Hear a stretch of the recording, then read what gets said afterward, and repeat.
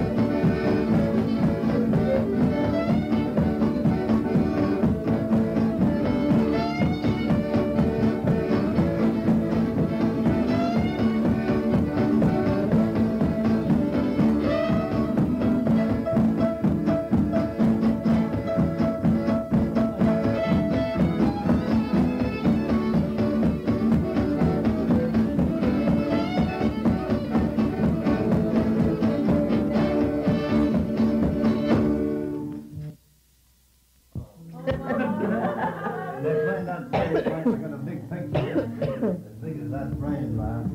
Not playing all that stuff. Sure, everything. There's my picture right there with that big cigar.